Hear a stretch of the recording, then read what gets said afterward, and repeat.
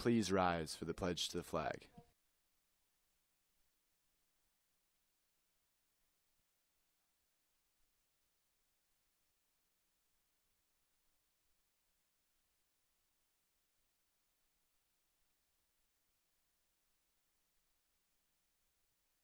Good morning, Cedar Crest. It's Thursday, April 20th. I'm Jack Marika. And I'm Sam Gerhart.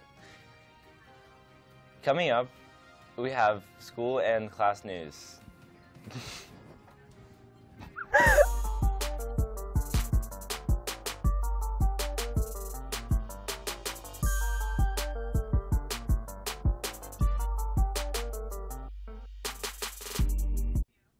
In class news, freshmen, sophomores, and juniors join representatives from the Army, Navy, Marines, and Coast Guard Academy next Wednesday in the LGI. This event is open to anyone, not just those interested in military service. Ask questions about a variety of benefits the military can offer. If you're taking a college and the high school class next year, your HACC paperwork is due immediately. If you do not turn in the forms, you will not be scheduled for placement testing. See your counselor immediately if you have any questions. Seniors interested in the medical field, uh, but who aren't quite sure about attending college. Fava and Maria Eye Associates are looking for someone to help long-term, uh, a full-time employee who, are computer, who is computer savvy, has a good work ethic, and loves to work with the public. They offer competitive salary and benefits to the right candidate. Check out further details on the jobs available board in the 100 Hall Skylight area or see Mrs. Follett in the College and Career Center in the library.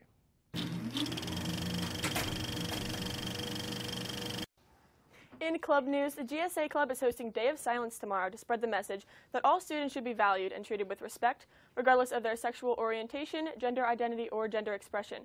Correspondent Jack Marika talked to GSA President Rose Peterschmidt about the event. Uh, well, I'm the president of the Gay Straight Alliance, and um, it's been a kind of a year-long project we've been working for. Uh, we've been working towards, and um, it's just a really supportive way. Um, it's a it's a good way to show support for this community, which makes up the the Gay Straight Alliance for the most part. Um, yeah, so it's good for the people in the club, and it's just good um, school wide because it just shows solidarity with our students. Um, I hope they realize that there are multiple points of views.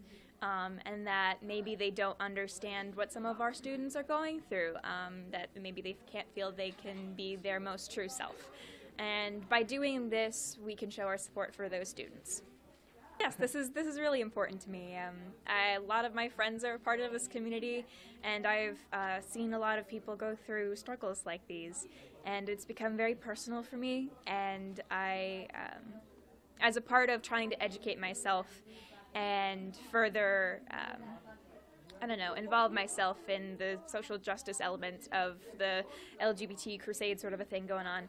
Um, it's just become a part of, you know, who I aim to be, a person who gets involved in something that I care about, and this is something I care about. If you would like to participate, you can pick up an ally card in Miss Wagner's room 206. Students, are you interested in becoming a big star next year? Pick up an application now in Mrs. Eisenberg or Mrs. Chrisman's room. All students enrolled in an AP course this year must complete AP pre-administration. Today is the final day. If you have not yet completed AP pre-administration, please report to the LGI at the start of first period. Again, this is for current AP students and is man mandatory. Please rise for the pledge to the flag.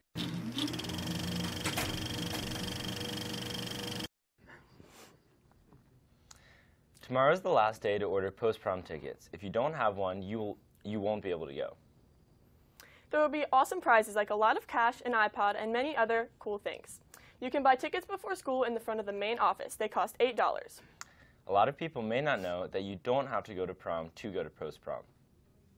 Falcon Threads will be open today during period 6. Browse the clothes, jewelry, bags, and shoes and pick up some great new fashion just for a dollar or two. All proceeds benefit families in the community. The deadline to order your yearbook is approaching quickly. You have until the end of April to order one by visiting www.yearbookforever.com. The yearbook has a new feature where you can use a barcode scanner to watch videos on your phone. Tomorrow is the last day to bring in your empty cans for the C Club can collection Hi, competition please remember in celebration of Earth Day.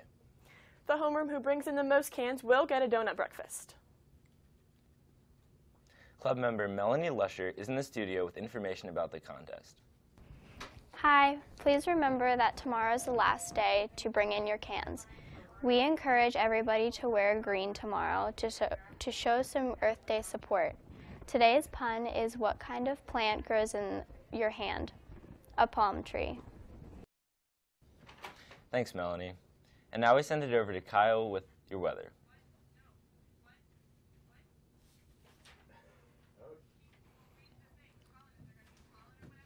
Kyle, is there going to be pollen this weekend? Um, the pollen count will remain high today and will fluctuate throughout the rest of the week. Today we're going to have a high 70 and a low 42 with some showers throughout the day, giving way to cloudy skies in the afternoon. Tomorrow we're going to have a high of 56 and a low of, or a high of 65 and a low of 56 with cloudy skies throughout the day with lower pollen count. On what? on Sunday we're going to have a high of 6 we have the wrong graphic. Okay. Saturday we're going to have a high of 65 and a low of 42 with some cloudy skies throughout the day. And on Sunday, we're going to wrap up with a high 65 and a low of 45 with some rain throughout the day. That's all for your weekend outlook. Back to the desk. In sports news, the boys tennis team finished their L-L League season with, with a record of 9 to 1, the win at Lebanon. Scoring points against Lebanon were seniors Tim Chang, Ryan Knapp, Mike Rubenstein, Noah Stover, and Chris Torres. Sophomores Ma- Max Maceros and freshman Toll and Ethan Hauer. On a side note, Jack Marika and Dylan Toll both went through this season undefeated in league play. The boys tennis team will host their first ever Falcon Invita- Invitational tournament Friday afternoon. Get out there and support the team. Boys lacrosse topped Garden Spot 14 to 6 last night. Hunter Craig scored five goals with an assist. John Lux netted four. Mitchell Tice scored twice with six assists. May, Ray Moore scored twice, and Noah Lozer added a goal. Keeper TJ Moore made seven saves. That's all for your sports report. On Tuesday, from all the district buildings took to the track to conquer cancer. Correspondent Gavin Binner was there with his camera and his drone.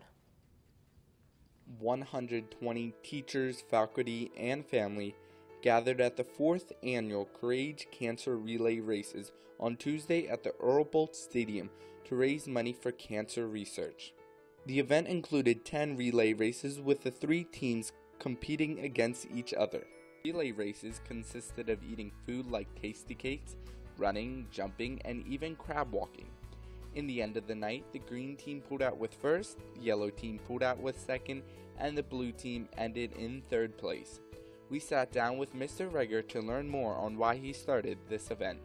Uh, four years ago, uh, quite a few friends of mine and family members had uh, been diagnosed with cancer or were living with cancer or died from cancer. And uh, it was a thing just that I wanted to do to show them, all the ones that I, you know, friends of mine, that they meant a lot to us uh, and to me. And this was my way of giving back and raising some money to help find a cure. Mr. Rager said the event will raise over $2,500 for cancer research once the leftover foods are sold. That's all for your announcements today. I'm Jack Marika. And I'm Sam Gerhart. Make it a great day, Cedar Crest.